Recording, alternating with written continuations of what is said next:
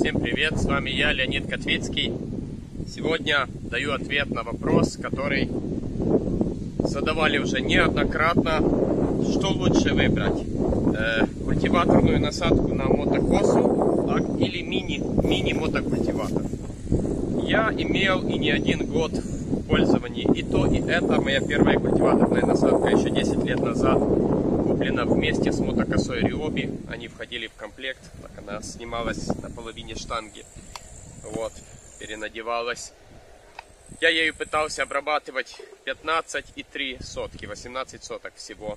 Вот, это была насадка под эту штуку.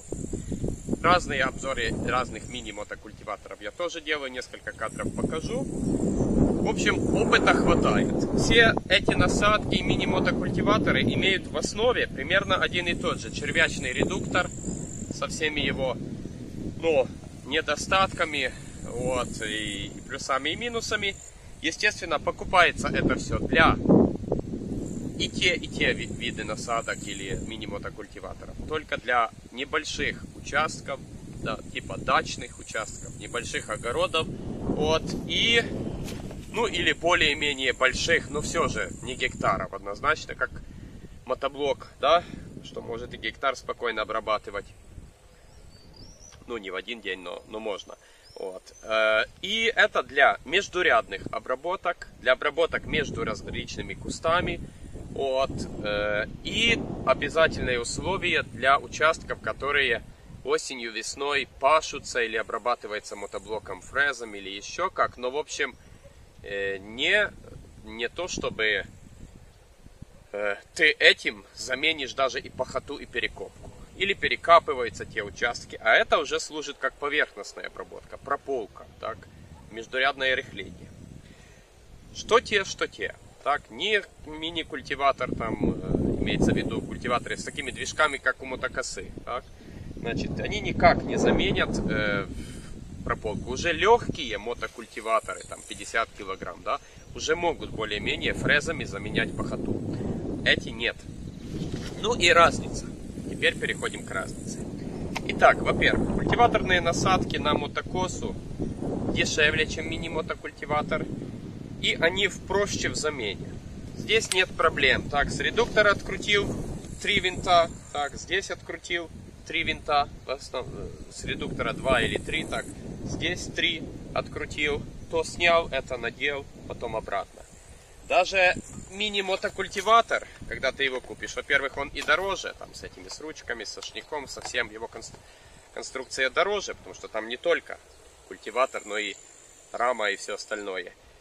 Но э, даже если ты купишь такой, что движок снимается и надевается на него, вот хочешь именно, чтобы подешевле, так, чтобы с мотокосы откручивать, довольно быстро люди замучиваются и начинают переставлять, э, покупать отдельные движки и ставить уже, чтобы движок был постоянно на нем. Почему? Потому что здесь 4 винта открутить это одно. Их начинаешь приспосабливать, притачивать. Обычно, чтобы нормально прикрутить, нужно два человека. Самому очень неудобно подлез... держать и движок, и подлезать. В общем, довольно заморочно это. Один раз собрать ладно, но если каждый раз движок то туда, то сюда, Плюс отключать проводки, откручивать проводок с карбюратора, делать прав правильную натяжку проводка и так далее. Подрегулировать там винт холостого хода, если сбился, а при перестановке он может сбиваться. Это очень много мороки, и люди все равно потом покупают еще и движок, и ну, культиватор уже обходится в 100 долларов там и выше, да. Вот, поэтому он дороже, этот дешевле. Это однозначно. Второе. Маневренность. Вот этого некоторые не понимают. Значит, что такое мини-мотокультиватор? Ну, я сейчас куски видео покажу. Вот, но главное, что ты можешь поворачивать, если надо, в очень большом диапазоне этими ручками. Чуть-чуть поманеврировать, чтобы там право-влево, э, поскольку по центру у них всегда будет вот такая полосочка не прополотая, поэтому чуть-чуть поманеврировать вот так, чтобы прополывало, ты можешь и этим. Но подвигать серьезно ручками, да, когда оно у тебя нацеплено на крючке, ну чуть-чуть сюда можешь. Влево ты уже отобьешь себе печень такими движениями. Так, значит, этим, чтобы маневрировать, придется ходить самому. Вот его отличие. Придется ходить самому. Вот. Э, иногда это, в принципе, если там какой-то цветничок обработать между кустиками, то не проблема. Но если ты, тебе нужны большие площади и надо будет больше двигаться, разворачиваться, этим ты уже устаешь. Третье. Этот, хоть он и висит на лямках, так, хоть это вроде бы и продумано, но все равно это все висит на твоих плечах. Мини-мотокультиватором, какой бы он ни был конструкции, ты управляешь руками, он едет по земле, либо фрезами едет, либо э, вот последнее видео, что я снимал на колесах резиновых, там еще легче, там еще легче, вот им э, особенно длинные междурядья проходить, ну просто прелесть, вот. Но какая бы ни была конструкция, он едет по земле, и ты его не держишь на весу. Эту штуку ты вынужден держать на весу. Вес мотокосы, моторчика, так, ты висит, висит на тебе. Ну и если вот так, как я пытался 15-18 соток обрабатывать, то с этой штукой ты уже устаешь. Так? Почему еще устаешь? Потому что следующая разница, это уже, наверное, четвертая, да? Значит, мини-мотокультиваторы лучше заглубляются в глубину, так, и за счет своего веса, э, за счет того, что они стоят на земле, за счет наличие сошника. Вот, сошник, который устремляется в землю, и он уже начинает не вперед бежать, а зарываться.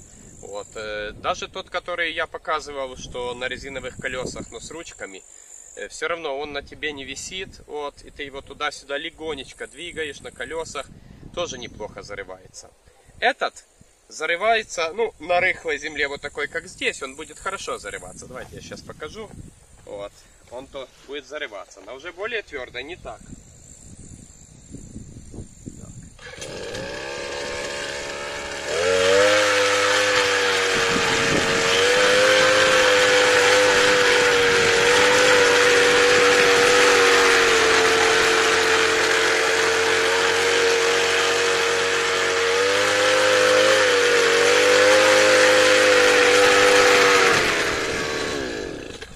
Вроде да, но чуть земля тверже, уже картинка другая. Идемте сейчас на междурядье картофеля. Э, да, еще, кстати, ну, я его не использую так вот в быту. Мне, у меня есть мотоблок, так? Я повторяю, это для дачников или, или для очень сильной экономии. Вот. Не любит он длинных всяких сорняков. Сорняки при нем нельзя запускать. Что при тех, что при тех. Ну вот смотрите, насколько он будет зарываться теперь. Здесь земля потверже.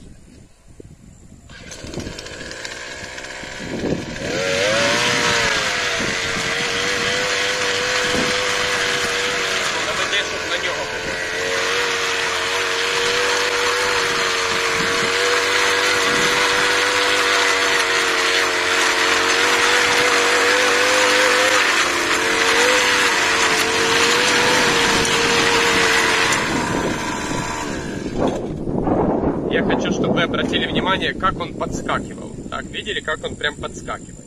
И он вроде бы что-то рыхлит поверхностно, но когда посмотришь, это весьма поверхностно. Вот здесь даже весьма поверхностно. Помню, как я им работал. Да, и обратите внимание, как наматывать сорняки. Ну, это из-за того, что он имеет маленький размер. Но это что мини-культиватор, что этот будет маленький. А вот разница в чем? Он подскакивает. На твердой земле он просто прыгает и все. И это не то, что необработанная земля. Ну, уже середина лета, подсохла ты им хочешь идти нормально по междурядьях, а он тебе прыгает. Я прижать его ручками не прижмешь. Плохо вот так оно ручками прожимается. Плохо. Коса себе пружинит, все, ручки тоже прогибаются прям под весом, а прижимание слабое. Помню то время, когда еще работал на насадкой криоби, мне аж хотелось вот так его брать, чтобы была какая-то такая ручка, и вот так идти давить. Вот тогда я пробовал вот так давить на саму штангу, да, тогда глубже зарывается. Ну, сами понимаете, вот такой вот позе, согнутым. Хочется, чтобы такой инструмент с мотором облегчал тебе работу. Но вот это для спины явно не есть хорошо.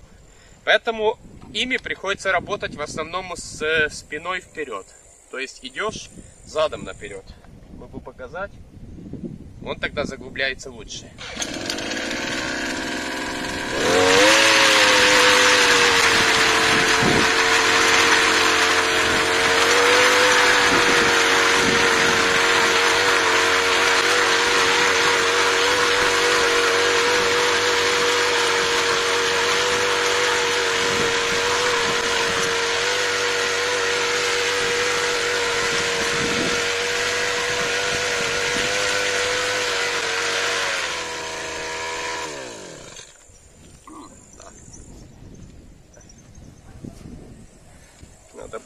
Потом тяпочкой подправить, потому что я аж боковины перебил.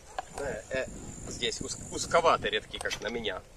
Но, э, видите уже разницу. Когда задом идешь, так то он уже лучше зарывается, тоже подпрыгивает, все, но все же зарывается лучше. Поэтому что приходится?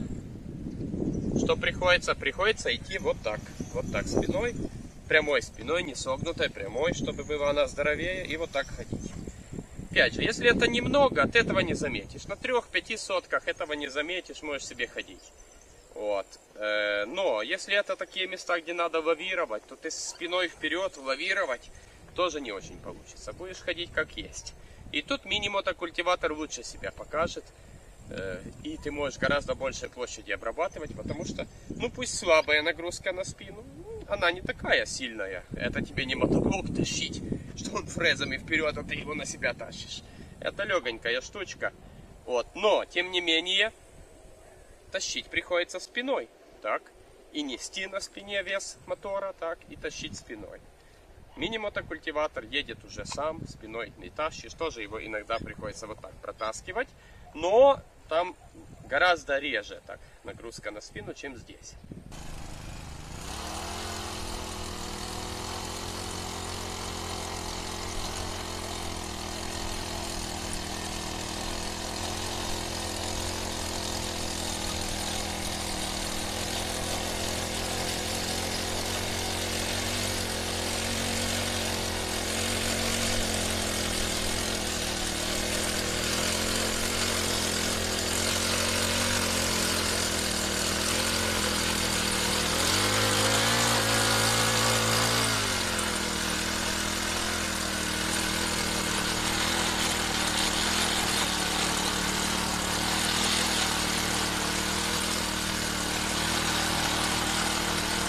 Такие примерно ситуации с разницей. Так что это скорее вариант подешевле и на небольшие площади. Если площади уже больше, лучше мини-мотокультиватор. Вот, пусть дороже, но все равно как к этому на больших площадях ходить с этой штукой, ты быстро поймешь, что лучше все-таки, чтобы оно само ездило по земле и доплатишь и сделаешь так. Ну, эта штука может быть полезна, вот так прям полезна. Э, иногда в одном случае, я бы сказал, когда нужно вот так между кустами, то ты можешь даже через куст перелезть. Сейчас я тут у соседей, надеюсь, они не в обиде будут. Попробуем, я покажу, что я имею в виду. Так, что я имею в виду? Если ты вот на вот таком вот э, огороде, где прям растет все кустиками, да, в цветниках домашних это часто, то э, с мини-мотокультиватором с ручками тебе придется ходить между кустами, ходить, обходить их. Понятно, когда кусты уже 2 метра, то тебе в любом случае придется обходить, но если они небольшие, вот, то с таким, такой насадочкой, так, ты можешь сделать, не обходя его, прокультивировать. Сейчас я тут на соседском огороде, надеюсь, Алена не обидится, сделаем, покажу, что я имею в виду.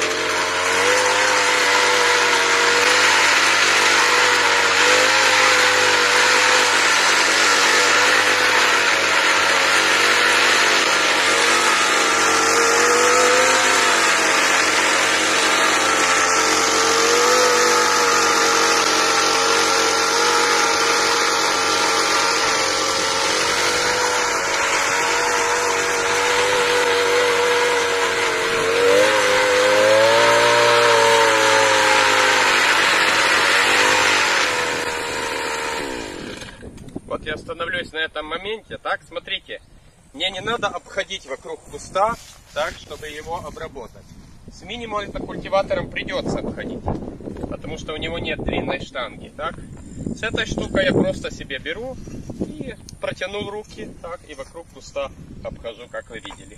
Ну, здесь сорняк длинноват, уже наматывает. Придется чаще выдергивать. Вот, но э, надо чаще обрабатывать такими мелкими. 5 сантиметров выше уже не надо. Ну, надеюсь, вы поняли суть, да? Не надо обходить каждый кустик. И если у тебя вот так квадратно-гнездовым посажено, там или какой-то цветничок, где мало, ты просто вот так по кругу себе, благодаря длинной штанге, можешь его обходить. Ну, подсыпать немножко земли к нему, подокучит. Ну и хорошо, подокучит. Тем лучше. Вот на такие вот гнездовые, такие точечные посадочки, вот, лучше, лучше именно вот это, насадочка со штангой.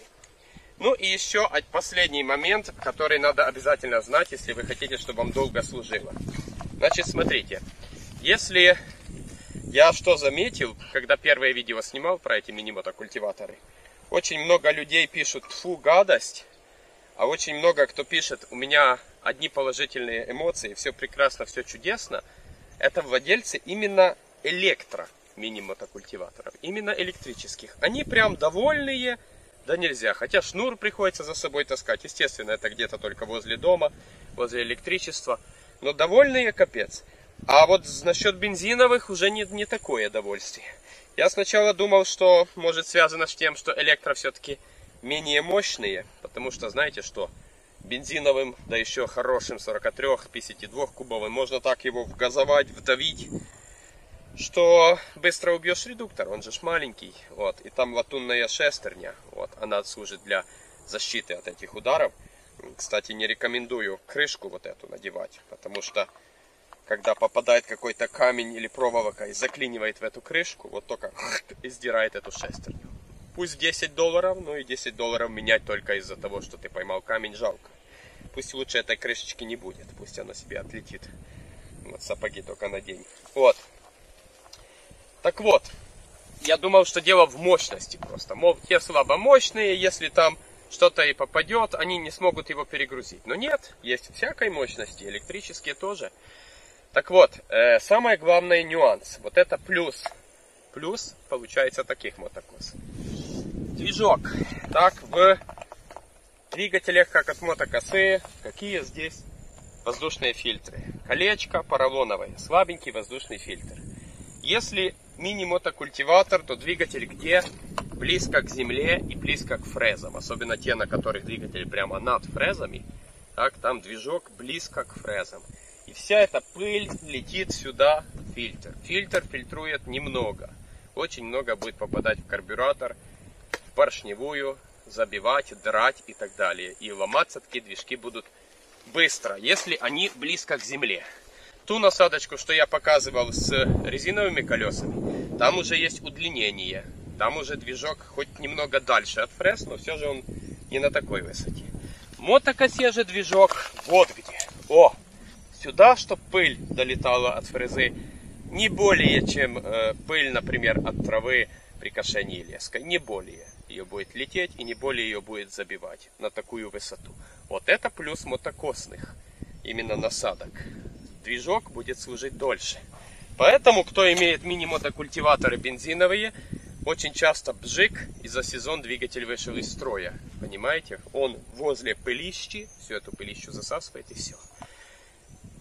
В этом плане лучше движок с мотокосы. Но кто имеет мини-мотокультиваторы, есть сейчас специальный выносной воздушный фильтр, я покажу. Вот, я сейчас его отдельно покажу. Как вариант Э, доточить такой фильтр, и тогда уже начнет работать гораздо лучше. Вот. Э, но э, доточить, но если у тебя культиваторная насадка на мотокосу, то не надо ничего дотачивать, она и так высоко, ей и так пыль, это не страшно. Вот такая еще разница. Ну, еще покажу эту насадочку, кто не видел. И последнее, так что, чем, что можно сделать так, для мини-мотокультиваторов. Вот такая насадочка надеваешь ее на тот движок, который там, типичный движок, как от мотокосы. Так, там идут две шпильки с карбюратора, снял крышку карбюратора, там или ключиком открутил, или так, как там она конкретно в вашей косе или моторе откручивается. Снял ту крышку с коробочкой, видите, здесь все, рычажок открытия, закрытия заслонки. Вот, надел эту, закрутил две гаечки, и вот ты имеешь съемный фильтр, так, Здесь внутри прям-прям-прям крутой воздушный фильтр бумажный. Вот, вот такой. Не все мотокосы, правда, могут с ним работать, с такой мощной фильтрацией. У некоторые начнут задыхаться, потому что не у всех мотокос, мотокосных движков так э, карбюратор работает при такой мощной фильтрации. Вот. Если будет задыхаться, ничего, выкинете этот бумажный фильтр, оставите здесь сверху. Идет такой вот кольцевой Видите, он просвечивается желтый. Так, идет такой кольцевой поролоновый фильтр. Это получается уже два. Или его выбросить, оставить только бумажный попробовать. Или оба, а некоторые движки тянут и то, и то. Его надеваешь туда, эту штуку выносишь на руль поближе к рукам, повыше, так, и получаешь и подъем от земли, от пыли, и мощную, хорошую фильтрацию, так, и это прям, прям прекрасно. Кто уже имеет мини-мотокультиватор, и можно такую штучку докупать отдельно, она около 10 долларов стоит. Очень хорошо, что появились отдельно, потому что раньше они были только в комплекте с мотокультиватором Беларус. И все. Без вариантов выбора. А теперь они есть отдельно и очень хороши. Ну, а если у тебя культиваторная садка на мотокосу, то это все не нужно, она и так высоко. Вот такие вещи, так, чтобы решить для себя теперь, нужно или не нужно, нужно хорошенько подумать, что из этого мне надо, так, что из этого мне не надо, буду ли я переставлять эти насадки, или буду я переставлять движки, буду ли я ручками работать, или с этим ходить, какие площади и так далее. Но я надеюсь, выложил, как говорится, от А до Я, все, что я знаю, весь свой опыт и различия в работе, и ощущениях и, и последствиях во всех этих насадках. Так что успехов! Всем пока!